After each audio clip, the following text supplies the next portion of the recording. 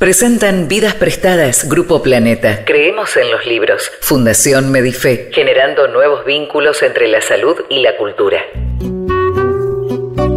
Esto es Vidas Prestadas, un podcast sobre libros y sobre mundos posibles. Un espacio para la ficción, para el ensayo, para la poesía, para las ciencias sociales, para el arte, para todo aquello que puede caber en un libro.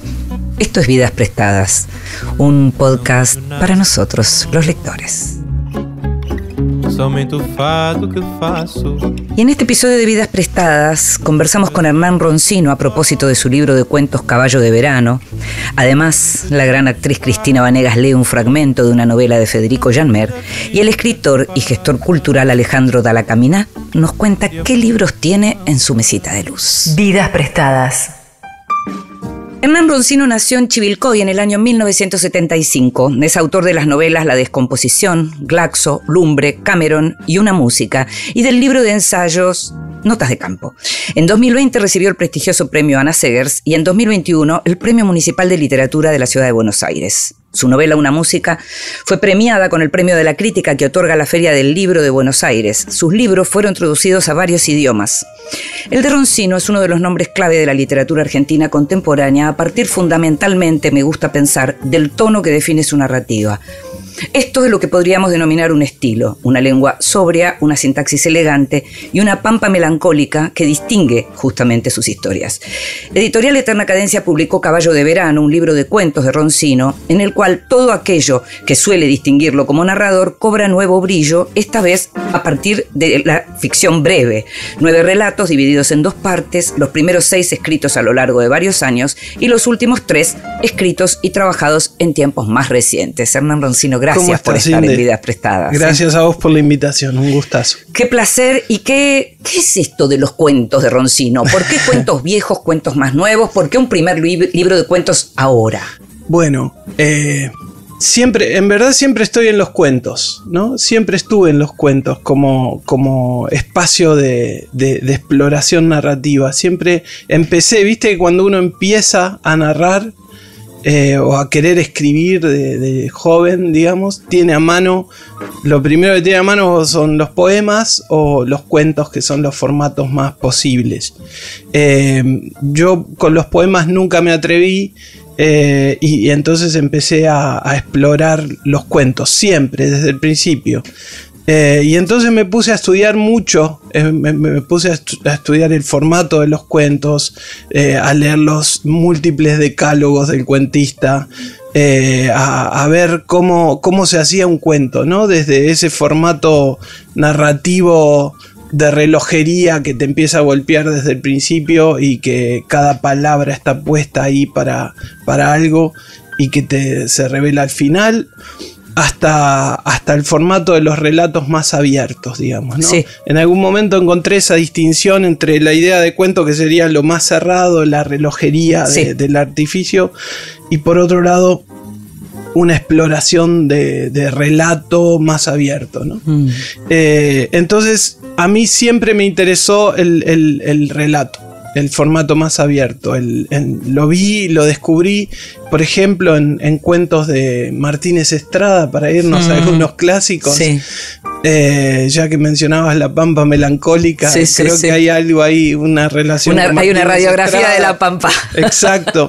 Pero los relatos de Martínez Estrada, por ejemplo, han quedado un poco a la sombra de la, de la obra ensayística, ¿no? Hay cuentos como La inundación o Sábado de Gloria, que no son la pieza cortasariana, sino es una cosa más, es un universo en expansión, digamos. Eh, incluso me pasa con los cuentos de Walsh, que también otro que tiene una narrativa de ficción que ha quedado un poco... Lamentablemente, diría yo, ¿no? Yo una vez en, en estudié sociología y descubrí en la biblioteca de sociales una, antología de los cuentos de Walsh, eh, de una edición mexicana. Sí. Y me fascinó, no sabía que Walsh tenía. Claro, eso pasa. Más allá de esa mujer que es lo más conocido. Sí, pero, que también está vinculada a la política. Totalmente. Claro.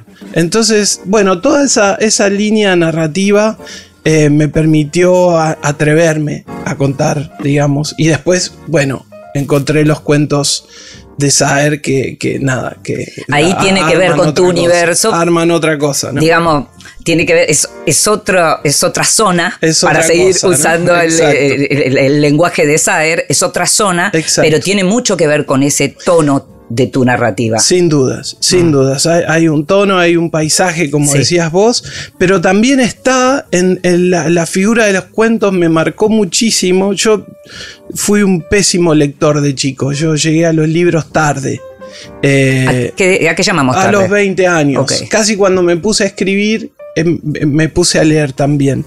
Eh, pero la figura del cuento después me di cuenta, ¿no? Cuando uno hace una reconstrucción de cómo se acercó a, a este deseo de contar.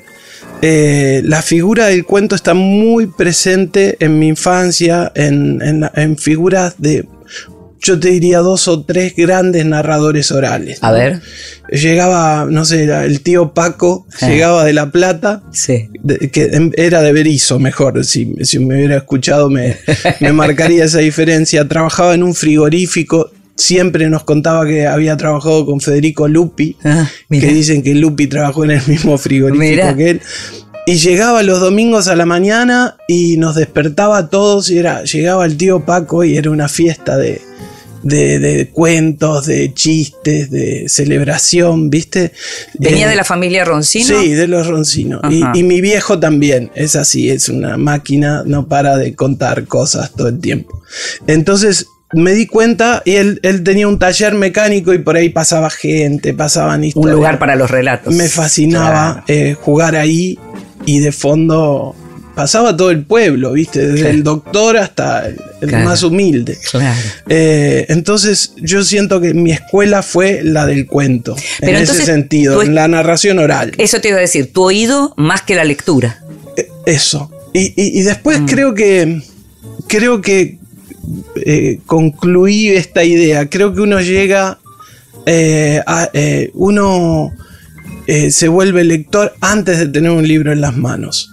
Creo que es mi experiencia. digamos. ¿Cómo sería eso? Y en el sentido de, de mirar, ¿no? De mirar Mm. y de escuchar, digamos, de estar atento, digo, para narrar y para, y para leer y para escribir, uno tiene que haber modelado una sensibilidad previa, ¿no? Eh, si no, si no hay, hay como una cosa forzada, digamos, el libro.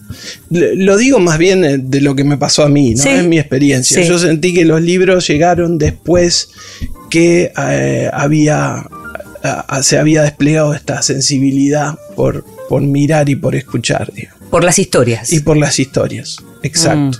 Mm. Sí, siento que eh, uno se vuelve lector antes de tener un libro en las manos, porque hay una concepción ahí de la lectura que es múltiple, no Sí, es claro, solamente el claro. leer libros, digamos. ¿no? Bueno, esa es la discusión que tienen siempre, por ejemplo, los, los y las grandes especialistas en literatura infantil cuando alguien les dice los chicos no leen. Sí, leen, Claro. leen montones de otras cosas que vos ni te estás dando cuenta que estás Otra leyendo. Y hay otras formas de transmisión de la, de- de- del deseo por contar historias. Sí. Como, viste, yo, puede sonar exagerado, pero Paco y Saer para mí tienen la misma relevancia en mi formación. Por ¿entendés? supuesto, claro. Eh, te marcan una sensibilidad muy profunda.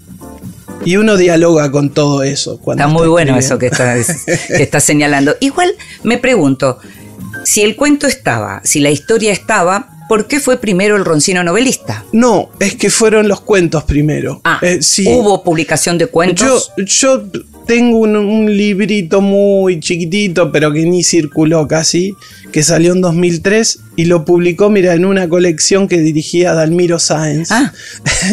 Publicaba a sus alumnos de taller y yo no hice taller con Dalmiro, yo hice con Juan Martini Sí. en el 2000, por Sí. ahí. Y a través de una amiga de Susana Sisman eh, pude entrar, me colé a esa En colección. esa antología. En esa antología. eh, y, y ahí aparecieron los primeros cuentos, pero que, que estaban tanteando a ver si podía llegar a la novela, digamos. Eran cuentos largos, que, que exploraban un territorio. Sí. eh, y, pero, pero empecé en los cuentos. Y después, entre novela y novela, fueron apareciendo más cuentos. Casi como, como un cambio. Como un cambio de registro, ¿viste? Sí. Pasar del cuen- de la novela al cuento para, para cambiar de aire y para explorar también.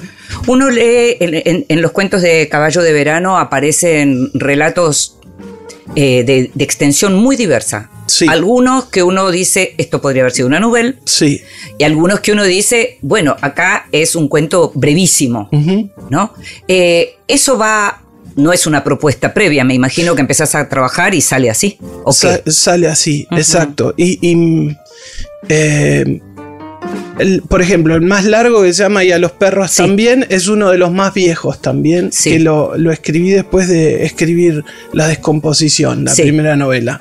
Eh, y nada, la, historia y el universo que apareció ahí me fue me, fue llevando y, tampoco sabía muy bien cómo iba a continuar después de esa primera novela que, que, incluso la había abandonado. No quería publicarla, no quería saber nada con la descomposición. Pero eso te pasa seguido a vos, porque cuando hablamos de una música me contaste lo mismo. Eso fue una... Exacto, pero, pero la descomposición la quería abandonar. Eh, y entonces probé otras, otros formatos. Era un tanteo, era un...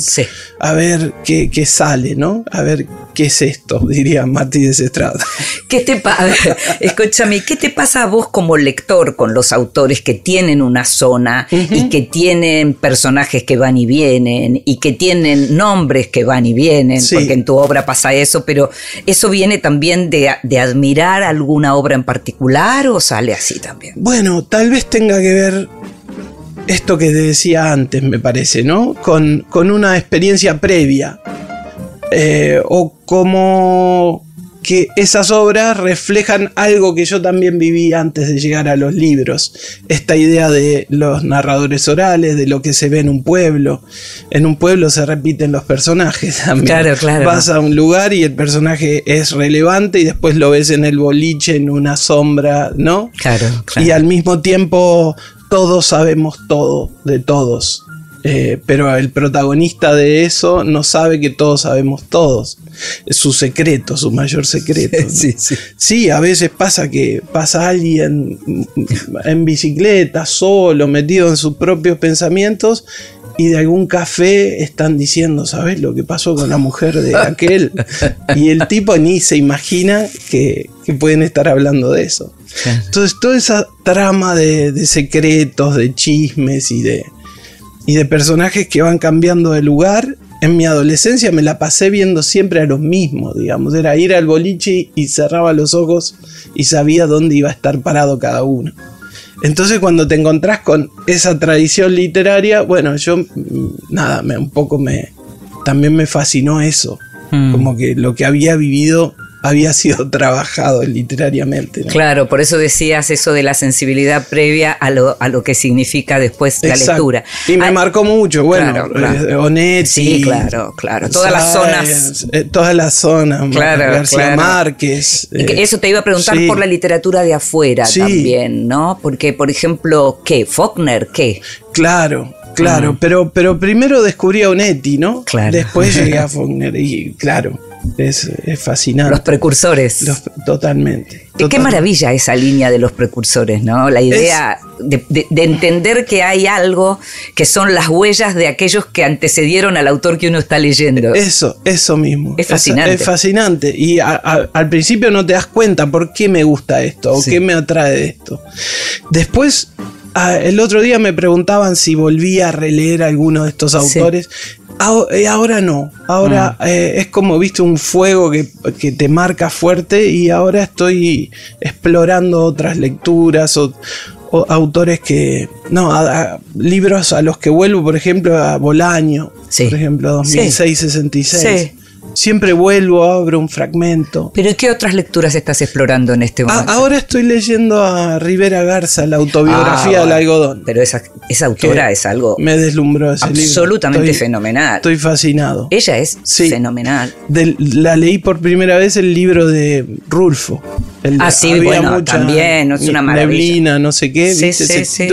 esa especie de, biografía de, Juan Rulfo que el tiene. El libro de la hermana también después. el verano invencible de Liliana. Y ahora este, que también está la familia, qué sé yo. Es, una gran narradora. Es una gran narradora. Con todos los recursos. Sí, sí, sí, sí. Y que cruza historia personal, historia de México exacto. y la literatura. ¿no? Sí.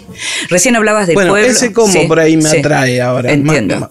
Eh, esa cosa que. Que, que no es solo ficción. No. Bueno, nunca fue solo ficción tampoco en un punto. exacto, exacto. tu literatura. Es verdad. es o verdad. sea, o a ver, ¿qué es lo, ese, ese cruce, ese híbrido, digamos, entre ficción y, y experiencia, también es lo que aparece como en el registro roncino, Sí, ¿no? Pero, ¿sabes qué? Al principio, y en los cuentos aparece también eso, y en las novelas también, la pretensión de, de que no se note la marca de vida. Sí, claro. De, de esto es ficción. Claro. Y de hecho, a veces me preguntan, bueno, ¿qué persona? ¿En Este quién te existe, inspiraste? claro, claro. No, eh, ha- hay como un- un- una alteración de, de los elementos, digamos. Es ¿no? que hay una alteración, me parece que la alteración de los elementos también se da en el detalle eh, en donde se detiene un narrador.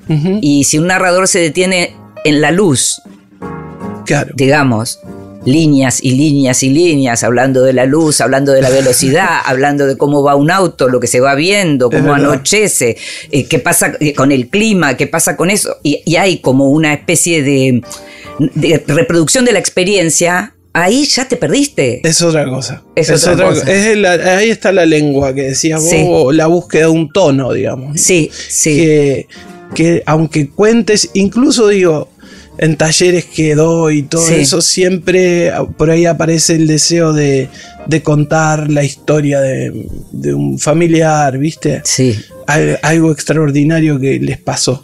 Pero a la hora de escribirlo, sí. a, a veces aparecen dificultades porque no es copiar lo que les pasó. Y no. Hay que se ponen en juego otros elementos, ¿no? Entonces, aunque cuentes algo personal, estás. Cuando hablamos de esto, de la reproducción literal, siempre me acuerdo de la novela de Puig, de Sangre de Amor Correspondido, que es una novela que supuestamente Puig grabó y reprodujo. Claro. No me hagan reír, mira Claro, si va claro. No. solo eso, ¿no? Eh, En, ca- en el caso de Puig, que se combinan estos dos puntos que mencionábamos por ahí: la capacidad de Sí, reproducir la, oralidad, oralidad, pero de hacerla desde un estilo. porque la inventa Exacto. al mismo tiempo. De hacerla de un estilo. Sí. Eh, te invito a que escuchemos, mira lo que vamos a escuchar, A ver. a Cristina Vanegas leyéndonos un fragmento de, la, de una novela de Federico Janmer y enseguida seguimos hablando de Caballo de Verano. Dale. En voz alta. Cuentos breves. Poesías. Lecturas para compartir. No estoy seguro de cuándo es que uno comienza a ser un resto. De cualquier modo, intuyo que eso ocurre bastante antes de la muerte. Somos un resto apenas los demás comienzan a vernos como un resto cuando nos pasa eso que llamamos vejez o cuando comienza a molestar nuestra oscura visibilidad, mejor, cuando ya casi sin tiempo nos convertimos en un espacio incómodo para aquellos a los que todavía les sobra, un espacio molesto que es mejor esquivar.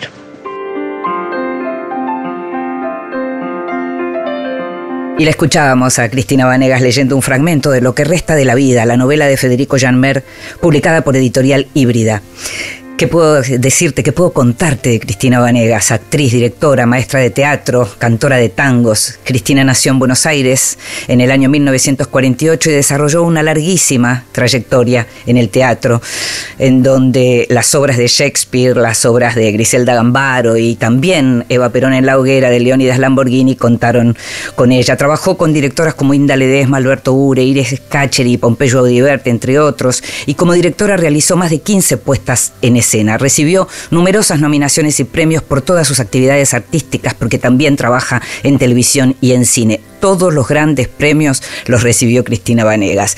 En el año 2012 incluso recibió el reconocido premio Emmy Internacional por su rol en televisión por la inclusión. Seguimos con Vidas prestadas. Y seguimos, estamos acá en Vidas Prestadas, este podcast sobre libros y sobre mundos posibles, y estamos conversando con Hernán Roncino, estamos conversando sobre su libro de cuentos Caballo de Verano, pero estamos conversando sobre literatura, y no te puedo explicar lo que me gusta charlar con Roncino sobre literatura, pero hablábamos de la experiencia, de aquello que uno intenta, digamos que uno estiliza en la literatura, lo que tiene que ver con la experiencia propia o de los otros, eh, lo que tiene que ver con la ficción, con la no ficción.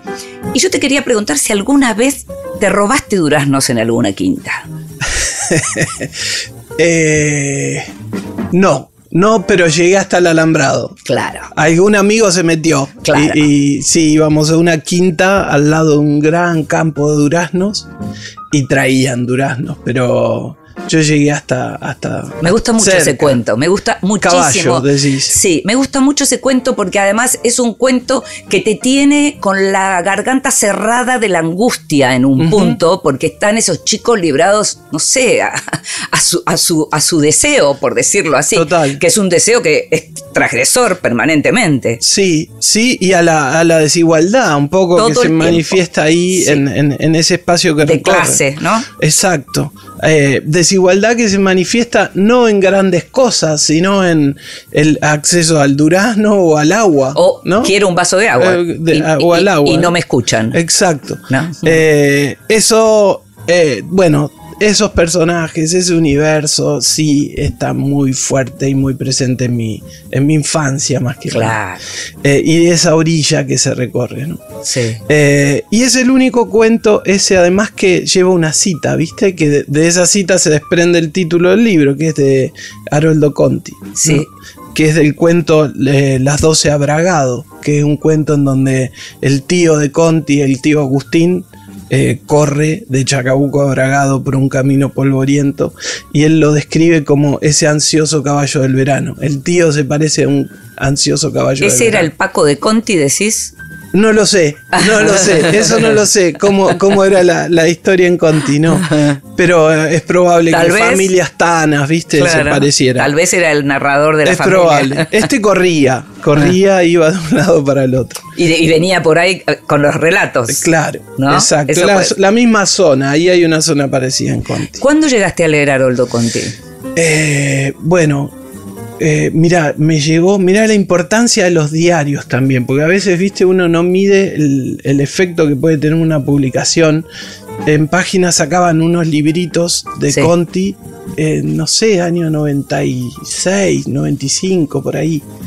Eh, y salió en el verano eh, Los novios. Ah, sí. Los novios, era un papel muy, muy malo, todo muy precario. Todo muy la edición, económico, muy claro. económica, con prólogo de Briante, otro que andaba por ahí eh, en la zona, y, y nada, me, me, me, me- me acuerdo dónde lo leí, lo leí en, un- en una plaza en Chivilcoy, en la Plaza Moreno, me leí el cuento ese y levanté la vista y era como el, el- me había cambiado la mirada del entorno, ¿entendés? Porque se puede hacer literatura con esto que, que pareciera no, no poder hacerse, ¿viste? Con tu aldea. Podías hacerlo con tu aldea.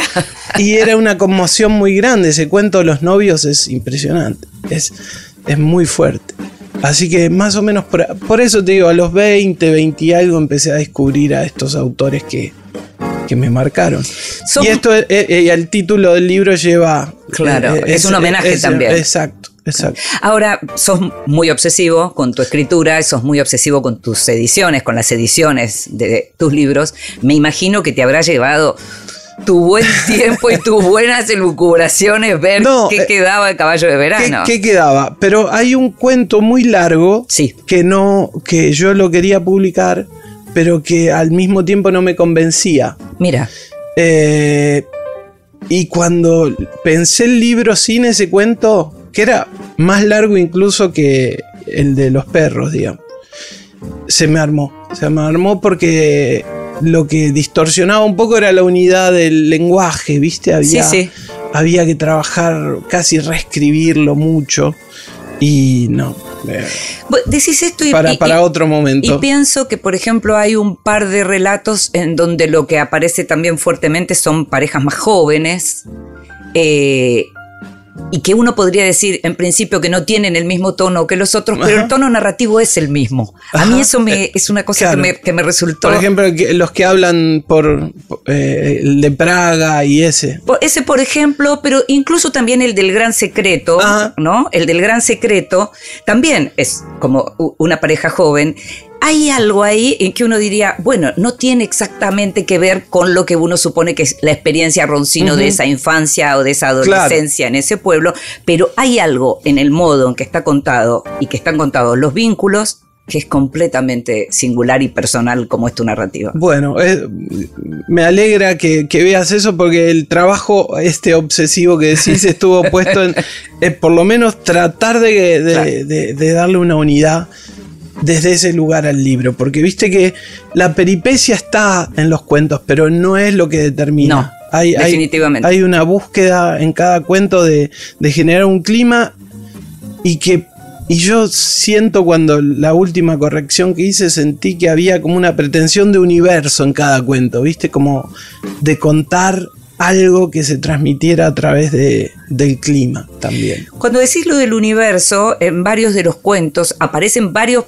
nombres eh, o personajes incluso que están apenas mencionados, algunos incluso de ficción, Sí. porque tienen que ver con una telenovela, por ejemplo. Sí. Y todo eso sí genera ese universo, ese universo, es decir, no son dos personas resolviendo algo o tres, o, o no es solo un interior, hay, Hay un- pequeño universo. Exacto. ¿Cómo decide Roncino esto es un cuento y no será una novela? Bueno, me, me pasa cada vez más que eh, las novelas se trituran los cuentos también. Cuando se me ocurre una idea y, y estoy con una novela ahí dando vueltas, digo, ah, pero esto, esto puede funcionar acá, ¿viste? Eh, pero cuando termino un proyecto y por ahí estoy sin saber muy bien qué, qué- por dónde voy a empezar con otra novela, porque Sí. la novela me, me gusta como universo, digamos. Eh, el cuento me sirve para trabajar en un breve lapso de tiempo la escritura y, y para explorar algo, digamos, ¿no? A, a ver eh, cómo puede funcionar un, un imaginario y, y un registro narrativo. Entonces, a veces tiene que ver con eso, ¿no? Eh, más que nada con eso, pero en general la- las novelas también se absorben las historias que pueden haber sido un cuento. ¿no? ¿Qué te pasa con las mujeres en tu narrativa? ¿En qué sentido? Claro, ¿cómo, cómo, cómo lo llevas? ¿Cómo llevas escribir sobre las mujeres y sobre las cosas que les Bueno, pasan a las mujeres de distintas Es- edades? Sí, sí, estos cuentos, acá hay, ponele tres, hay dos cuentos que hablan en primera persona. Sí. La- eh, dos mujeres muy distintas, Sí. una de clase media, embarazada, y otra, una adolescente del campo. Y después hay otro sobre una chica, pero que está más bien narrada desde afuera. Eh, estos cuentos son más o menos alrededor del 2010, por ahí.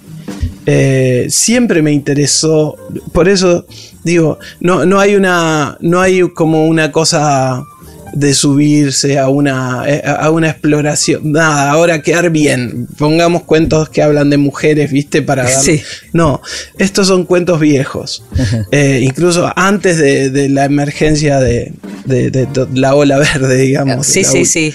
eh, a mí lo que me interesa de la escritura es co- construir puntos de vista, ¿viste? Sí, sí, Eso, claro, claro, de claro. cualquier personaje. Claro. En las novelas sí hay una pre- predominancia de un universo más masculino. Es así, digamos. claro. Sí. Eh, pero en estos cuentos fueron muy importantes para mí en, en- en exploración, porque cómo hacer verosímil un- una voz, digamos, cómo hacer verosímil un punto de vista y que no suene a, Artificio a un puro. chabón, viste.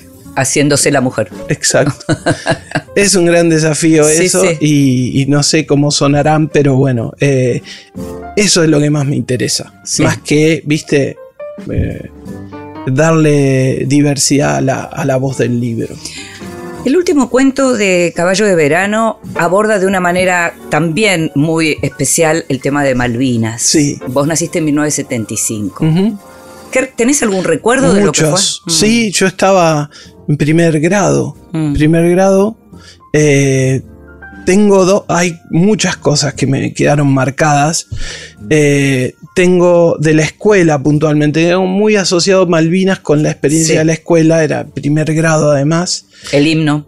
El himno de Malvinas que nos hacían cantar también. Bueno, yo tengo asociado dos cosas. Una, que nos hicieron hacer en Chivilcoy un simulacro de bombardeo. Nos hacían meter abajo de los bancos y nos decían que si sonaba la sirena de los bomberos, y allá suena todo el tiempo, es una sirena que se escucha en todos lados. Es tremenda esa sirena. Yo no sé cómo sigue sonando todavía con la tecnología que hay, ¿no? Porque alarma a todo el mundo. Algo pasó, ¿viste? Eso es, se escucha la madrugada, a cualquier hora del día. Y cada vez que sonaba, después de que nos dijeron eso, era como los ingleses. Todos muy atentos. Llegaron, Casi claro, desembarcaron los ingleses. Un relato fantástico era, ¿viste? Sí, sí. Invadiendo la pampa. Y después en el. eh, tengo imágenes de vecinos hablando de eh, cuántos eh, barcos se hundieron, como entrando en el relato mediático. Hijos de los combatientes militares. o algo ahí en Chivilcoy Sí, también. hay, hay, hay, eh, incluso sobrevivientes del, del crucero Ah, General General Belgrano. Sí. Entonces, eso, el relato mediático de la gente que iba casi como en un partido de fútbol, a veces uno se olvida de, ¿no? de cómo también los ciudadanos, bueno, salieron a, a festejar en la Plaza de Mayo, ¿no? Sí, La bueno, y la, do- convocatoria y la donación de las joyas. y, Total, ¿no? toda Montones esa- de cosas en donde la, población participaba de, digamos, de todo eso. Bueno, pero en tu cuento hay como un abordaje muy singular, muy particular. Y, y ahí sí me gustaría que me contaras de dónde surge la idea.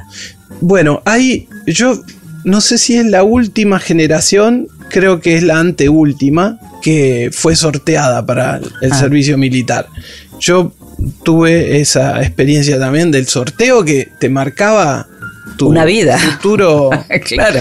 Eh, o sea, ibas a estudiar o te ibas a la colimba, ¿no? Un año, no sabías dónde. Era una cosa muy, muy fuerte. Eh, y también conocí cómo algunos compañeros que podían y que les había tocado hacían, generaban contactos para que salvarse, ¿viste? Sí, sí, sí, claro. Toda esa cosa Sí, que, sí. que había. eh, Un mercado negro de, de salvatajes. de- de salvatajes con Ah. algún médico, Sí. después algún contacto en el Bueno, eso siempre se escuchaba y, y- Sí. y rondaba. Entonces, con esas historias y con, con esa, ese recuerdo de Malvinas, eh, traté de contar algo que no hablara directamente de la guerra y que, y que buscara otra isla, digamos, para Sí. pensar. Ese movimiento me parece que es un movimiento que me gusta, no, no fue deliberado, pero siempre creo que, que lo hace mi narrativa. De si hablamos de algo, yo me voy para el otro lado, pego un rodeo y lo miro de lejos, digamos, como Sí. buscar la, la periferia para mirar con cierta perspectiva ese fenómeno. Ahora, si uno sigue lo que se señala y lo que vos estás diciendo en relación a, a cómo se armó el libro, ese último cuento es de los más recientes. Es el último que escribí, sí. Cuando decís el último que escribí, ¿de cuándo hablamos? Estamos hablando de hace dos años o algo así. Por eso, Dos antes de este momento en donde vuelve a haber una reivindicación en algún sector de la población Sí, claro. Por ejemplo, sí, sí, sí, sí. de los militares y hasta de los genocidas. ¿no? Antes, sí. Y este es un cuento que, que por eso, al hacer ese rodeo y ves con perspectiva la guerra y el país desde otro lugar, porque todo termina en la isla Martín García, eh, un poco se le aclara al final el fantasma de quién es el enemigo, digamos. Sí. O quién también es el enemigo, Sí. ¿no? Sí. Mirando a Buenos Aires. ¿no? Hmm. Eh, Eso es interesante en el cuento porque se habla en varias oportunidades de lo que tiene que ver con eh, el enemigo interno que el protagonista no termina de advertir que hay un enemigo interno, ¿no? Y siempre la No- sensación No es- comprende esa idea de guerra que instalan los militares, Exacto, digamos, ¿no? exacto. Eh, no la comprende, porque para él la guerra es la, la guerra clásica, digamos. Sí, si bien sufrió el bullying ¿no? Y, fue, digamos, eh, molestado permanentemente por su condición. Exacto. Es, muy interesante también el modo en que abordaste eso y, pensaba esto de leerlo ahora, que si bien vos lo escribiste hace dos años, cómo la literatura también tiene esa particularidad, sobre todo cuando hay algún dato que uno puede cruzar con la realidad, del el momento en que lo lees, lo lees de una manera diferente, ¿no? Exacto. Bueno, ahora que fue un aniversario de Borges, eh, el otro día leíamos unos poemas en la, en, la Fundación Borges. Sí. Eh, y pensaba en, en el cuento de Borges del que reescribe el Quijote, el ¿no?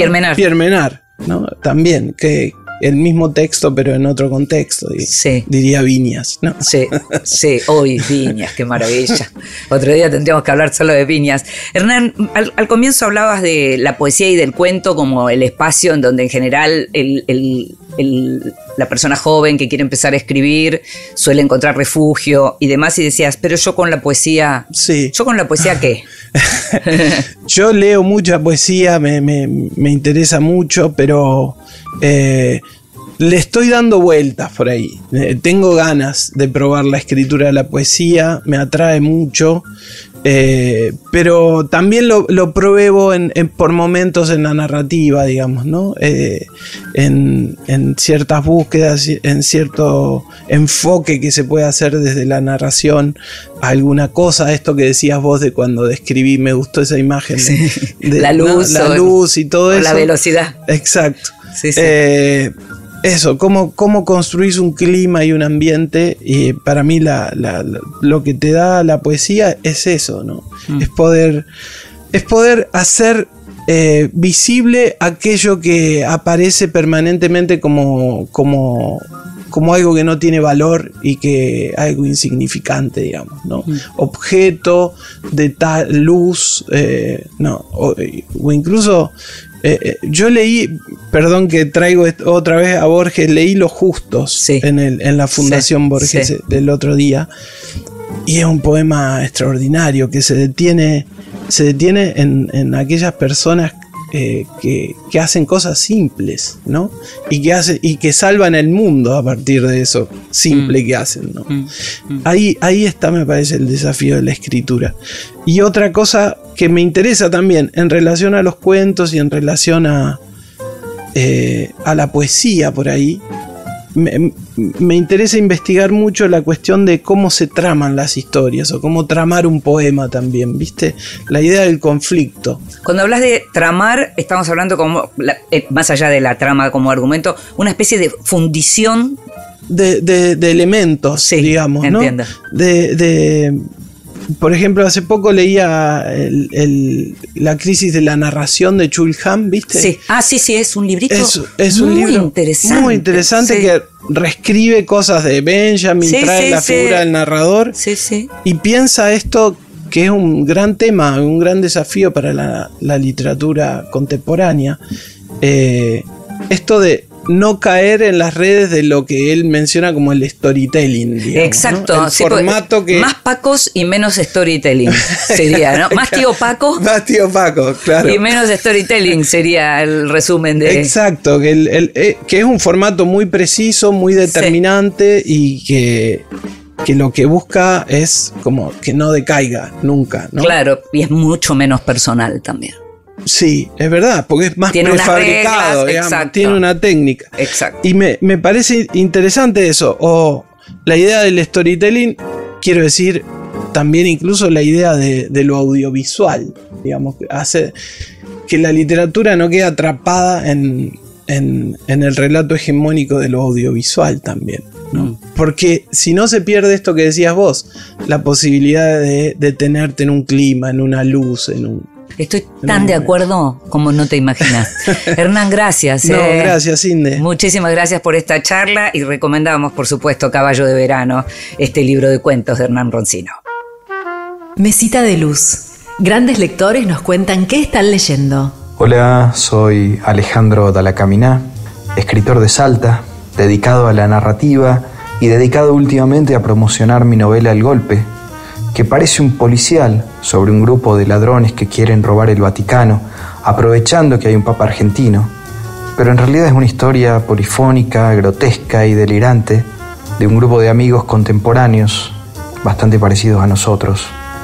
Y mi mesa de luz no es en realidad mi mesa de luz.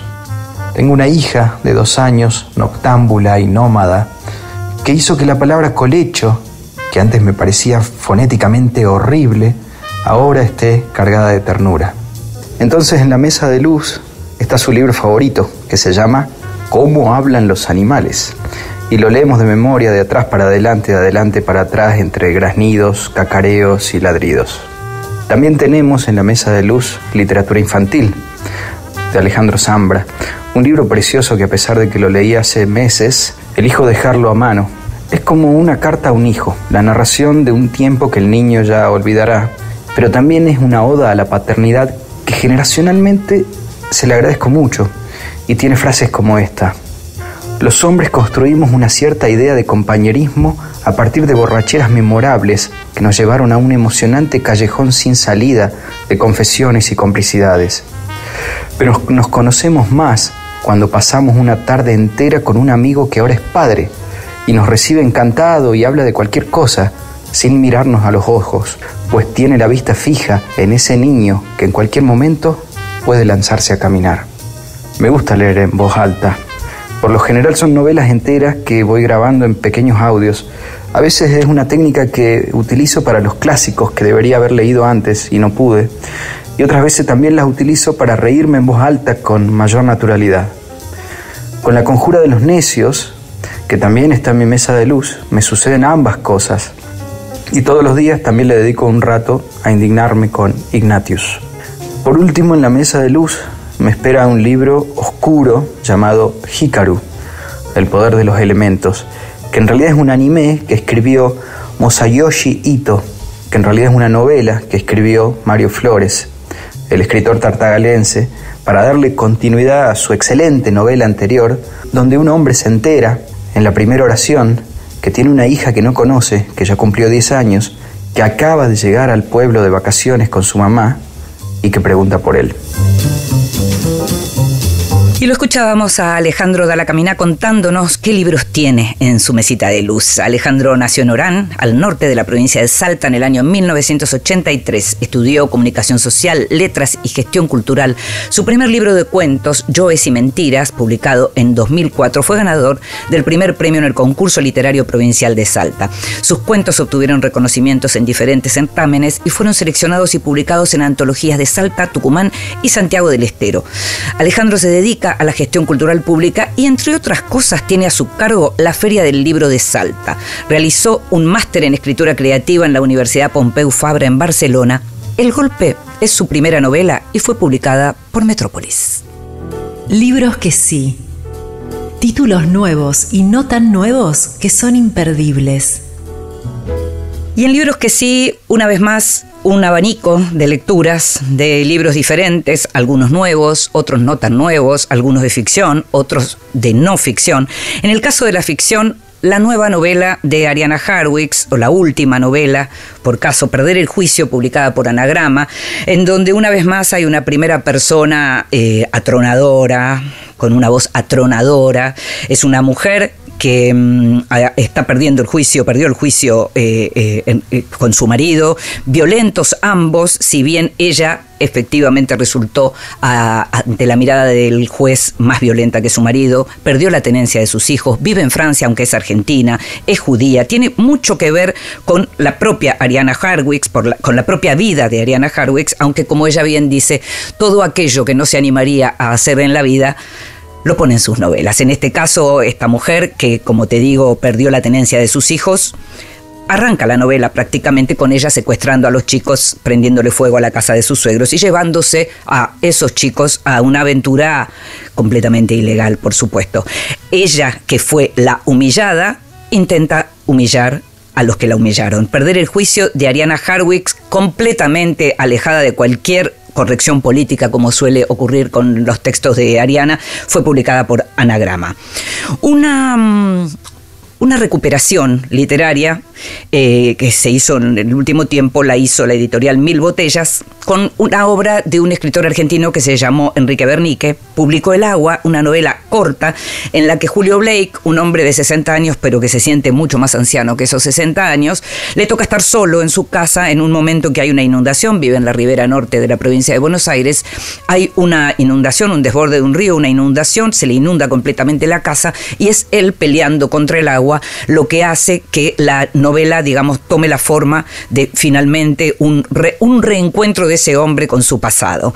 La novela se llama El agua de Enrique Bernique, es buenísima, es distinta, es diferente cuando a veces creemos que todavía quedan cosas por inventar, nos damos cuenta que en realidad no leímos a aquellos que ya las habían inventado. Esta es una novela dentro, digamos, de lo que tiene que ver con el género del realismo, fue Bernique alguien que influyó mucho en, escritores como Miguel Briante o como Abelardo Castillo y em, murió muy joven, pero como te digo, influyó mucho en aquellos escritores de los 60, pero en esta novela, si bien eh, arranca con el realismo, después aparece cierta cosa más sobrenatural sobre el final. Súper interesante, la recomiendo mucho, se llama El agua.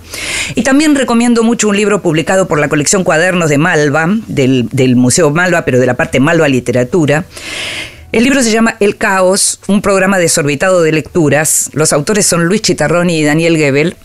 Y efectivamente se trata de algo muy caótico, pero una, un gran programa de lectura de todos los tiempos em, que encararon ellos justamente en estos ciclos del Malva. Después de muchos años eran muy amigos ellos, tanto Chetarrón y Gebel tuvieron una relación de amistad de muchos años eh, y encararon este curso después de muchos años de dictar talleres de escritura.